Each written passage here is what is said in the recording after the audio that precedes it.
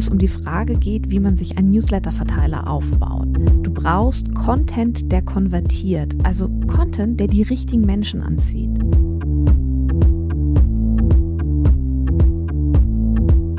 Biete ein Freebie an. Du gibst etwas kostenfrei raus, also für 0 Euro, und du bekommst im Gegenzug die E-Mail-Adresse von deinem potenziellen Fan. Musst gar nicht alles alleine schaffen. Du kannst deinen Newsletter-Verteiler in Zusammenarbeit aufbauen mit einem Kooperationspartner oder einer Kooperationspartnerin.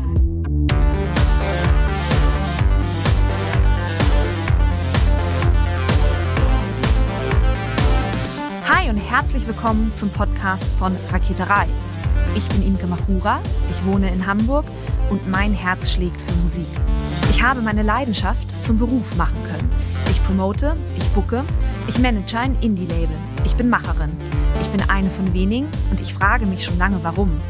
Deswegen habe ich mich auf die Suche gemacht und ich habe Antworten gefunden.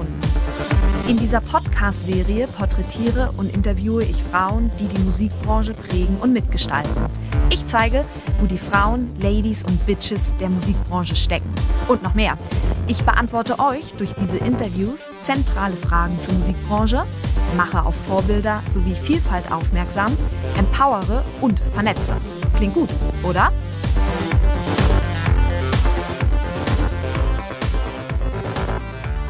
Nachdem ich in der letzten Folge beleuchtet habe, wie man denn Themen für den eigenen Newsletter findet, geht es nun um die Frage, wie man sich einen eigenen Newsletter-Verteiler aufbauen kann. Denn so viel kann ich verraten, auf Konzerten Newsletterlisten auszulegen, ist ein gangbarer Weg, aber eben auch nicht die einzige Möglichkeit, wenn man anfangen möchte, E-Mail-Adressen einzusammeln.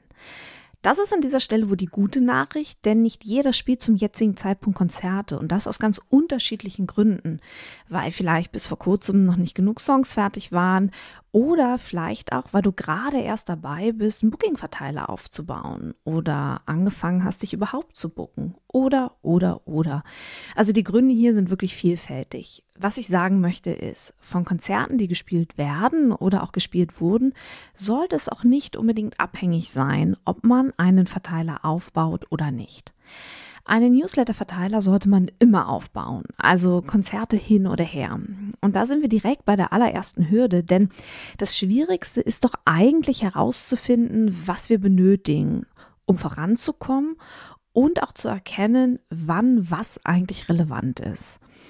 Denn von überall her kommen Tipps. Wir hören Podcasts, wir konsumieren Content auf zum Beispiel Instagram und überall wird uns gesagt, erstelle eine Promo-Strategie für deine Release, schreibe Booking-E-Mails, Netzwerke, suche dir eine virtuelle Assistenz, die dich unterstützt, nimm einen Podcast auf, erstelle eine Website.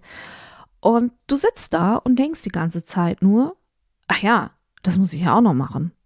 Ach Mensch, und das ja auch. Und ja, ja, klar, das ja auch. Und am Ende schwirrt dir der Kopf und du weißt überhaupt gar nicht mehr, wo du anfangen sollst und was du machen musst, was du machen solltest und auf was läuft es hinaus? Du hältst inne und am Ende machst du das, was du am allerbesten kannst und das ist Musik. Das ist auch nicht falsch, aber Musik allein bringt dich dauerhaft auch nicht voran. Also ich klammer an dieser Stelle jetzt das Narrativ des Entdecktwerdens aus. Das passiert bei vielleicht 0,5 bis 1 Prozent der KünstlerInnen da draußen. Ich will einfach sagen, dass wir darauf nicht warten sollten. Weißt du, das Gute ist doch, dass auch von all dem, was ich gerade aufgezählt habe, nichts falsch ist. Es ist nicht falsch, einen Podcast aufzunehmen oder eine Website zu erstellen. Es ist nicht falsch, anzufangen, mit einer virtuellen Assistenz zusammenzuarbeiten. Es ist auch nicht falsch, zu netzwerken. Die Frage ist doch viel eher, was du jetzt brauchst, um voranzukommen. Ich verrate es dir. Solange du mit deiner Musik noch nicht genügend Umsatz machst, sollte der Fokus darauf liegen, eine Fan-Community aufzubauen. Und damit stellt sich auch nicht die Frage nach dem Wann, also wann du anfangen solltest, deinen Newsletter-Verteiler aufzubauen, beziehungsweise wann du anfangen solltest, dich darauf zu konzentrieren. Die Antwort lautet nämlich jetzt. Ich gebe zu, einen Newsletter-Verteiler aufzubauen ist eine langfristige Aufgabe, denn es braucht seine Zeit, bis sich erste Erfolge einstellen. Aber ich kann dir nur empfehlen, jetzt damit anzufangen, damit der Verteiler nicht nur da ist, sondern eben auch groß genug ist, wenn du ihn brauchst. Denn der Tag würde kommen, dass du ihn brauchst. So viel kann ich dir auf jeden Fall prophezeien. Aber nun lass uns mal angucken, welche Möglichkeiten du hast. Und ich gehe im Weiteren auf die drei wesentlichsten Aspekte ein, wenn es um die Frage geht, wie man sich einen Newsletter-Verteiler aufbaut. Wir sollten, nein, wir müssen über deinen Content sprechen. Denn ich erlebe es im Rahmen meiner Arbeit sehr häufig, dass, und ich denke hier an Instagram-Postings, dass das Profil der postenden Person nicht klar ist. Es herrscht zum Beispiel keine einheitliche Bildsprache. Es sind keine Formate erkennbar. Und damit weiß ich als Konsumentin irgendwie gar nicht so richtig, was mir die Auseinandersetzung mit den Inhalten auf diesem Instagram-Profil eigentlich bringen soll. Und es ist auch nicht so richtig klar, warum etwas gepostet wird. Und auch das, was zum Beispiel die Themen der Postenden sind, ist auch nicht klar. Oder aber es sind pro Postings viel zu viele Themen untergebracht. Und das ist schade, denn dann kann man sich die ganze Arbeit auch sparen, wenn da so viel im Unklaren ist. Außer natürlich, Social Media macht dir sehr, sehr viel Spaß und du hast jede Menge Zeit. Aber ich gehe jetzt mal einfach davon aus, dass du mit deiner Zeit haushalten musst. Also, zurück zu deinem Content. Du brauchst, und das ist so der allererste Punkt, wenn es um die Frage geht, wie man sich einen Newsletter-Verteiler aufbaut. Du brauchst Content, der konvertiert, also Content, der die richtigen Menschen anzieht. Für die Menschen, die ihre E-Mail-Adresse gerne hergeben würden bzw. hergeben wollen. Ich klammere an dieser Stelle die Zielgruppendynamik aus. Ich setze voraus, dass du eine Vorstellung von den Menschen hast, die du erreichen möchtest. Setze nun mal die Brille deiner Zielgruppe auf und gucke durch sie hindurch. Gucke dir aus dieser Perspektive mal deine eigene Repräsentation, wir bleiben beim Instagram-Beispiel, deine eigene Repräsentation auf Instagram an. Und jetzt mal unter uns. Wenn du durch diese Brille guckst, würdest du dir selber folgen? Falls ja, sehr gut. Falls nein, dann solltest du anfangen, deine Künstlerin-Identität zu finden und zu schärfen war ja schon oft auch hier in meinem Podcast Thema. Eine klare und eindeutige Künstlerin-Identität ist in der Regel der allererste Dominostein, der fallen muss, der alle weiteren Steine ebenfalls fallen lässt. Und die weiteren Steine, die dann fallen werden, sind zum Beispiel die Reichweiten-Dominosteine oder die Partnerinnensuche-Dominosteine. Also wenn es zum Beispiel um Musiklabels geht. Aber eben auch, wenn es darum geht, die sozialen Netzwerke mit Inhalt zu füllen. Denn Hast du eine ganz klare Identität, dann bietest du auch die Inhalte an, die deine Fans interessiert. Und diese sollten an einer sinnvollen Stelle mit einem Call to Action versehen werden, also einer Aufforderung zum Beispiel zur Interaktion. Klammer auf, ich erwähne an dieser Stelle Interaktion so explizit, denn das ist eigentlich die Ware in den sozialen Netzwerken. Es geht nicht um die Anzahl der Follower. Es geht um Interaktion. Aber das ist auch noch mal ein anderes Thema. Klammer zu. Also, ich habe gerade gesagt, dass du deinen Inhalt mit einem sinnvollen Call to Action versehen solltest. Und dieser Call to Action kann dann auch eine Einladung in dein Newsletter umfassen. Und das bringt uns direkt zur zweiten Möglichkeit, wenn es um die Frage geht, wie man sich einen Newsletter-Verteiler aufbaut. Die zweite Möglichkeit lautet, biete ein Freebie an. Das Wort Freebie ist dir im Internet bestimmt schon einmal begegnet. Ein Freebie oder auch ein Tiny Offer. Das sind in der Regel kleine Geschenke für 0 Euro und du gibst etwas kostenfrei raus, also für 0 Euro, und du bekommst im Gegenzug die E-Mail-Adresse von deinem potenziellen Fan.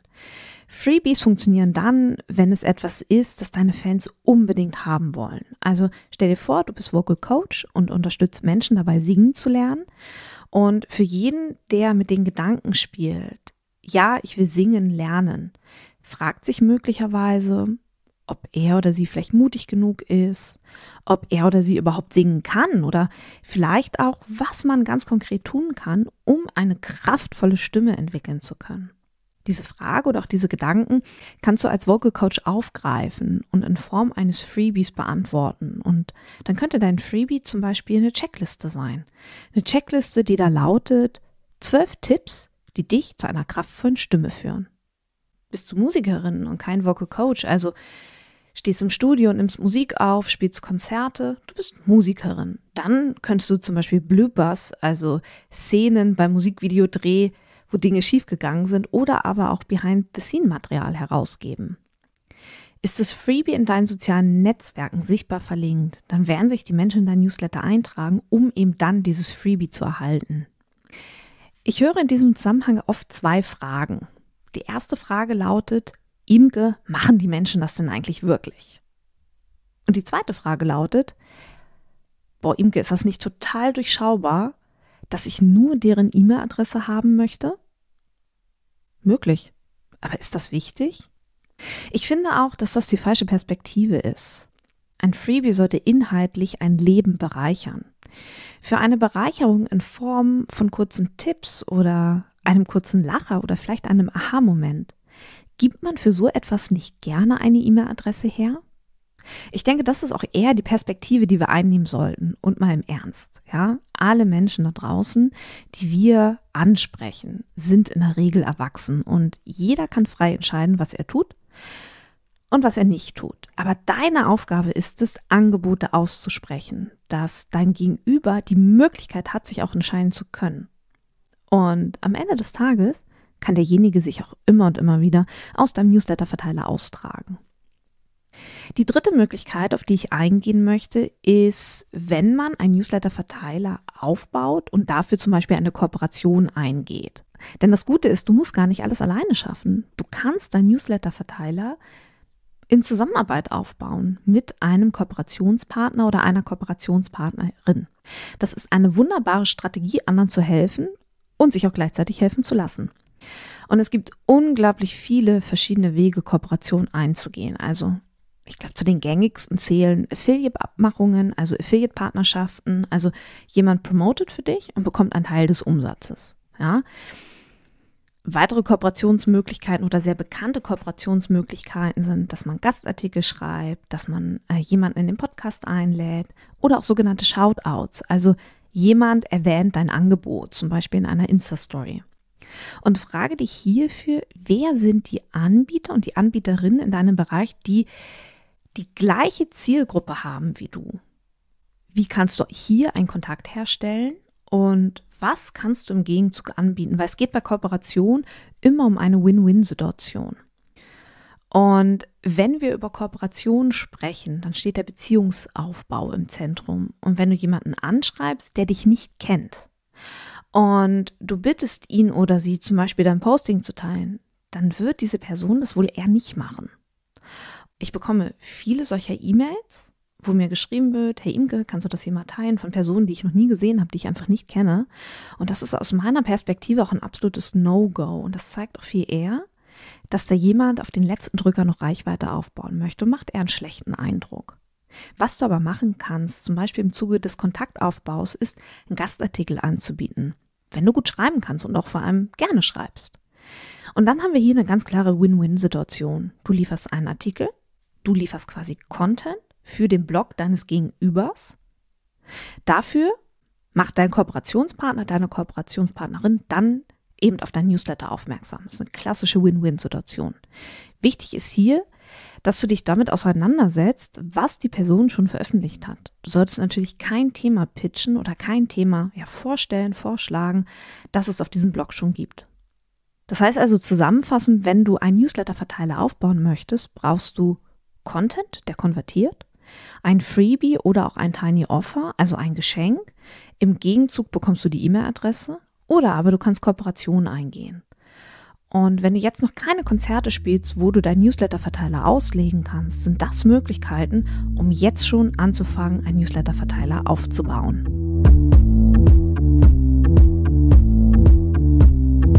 Herzlichen Dank fürs Zuhören. Ich möchte zu guter Letzt noch alle Musikerinnen unter euch in die Facebook-Gruppe Raketerei Backstage einladen. Hier findet über den Podcast hinaus weiterer Austausch zu Musikbranchenthemen statt.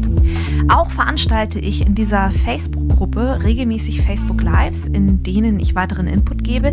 Hin und wieder habe ich auch Frauen aus der Musikbranche zu Gast, die uns einen Einblick in ihre Tätigkeitsbereiche geben, damit wir eben alle verstehen, wie die Musikbranche denkt und funktioniert. Die Gruppe heißt Raket 3 Backstage und alle Musikerinnen unter euch sind herzlich eingeladen. Abschließend bleibt jetzt noch der Hinweis, wenn du eine Frage auf dem Herzen hast rund um das Thema Selbstvermarktung in der Musikbranche, so schicke mir deine 90-sekündige Sprachnachricht an die 0160 4395903. In diesem Sinne, bleibt mir gewogen, eure Imke.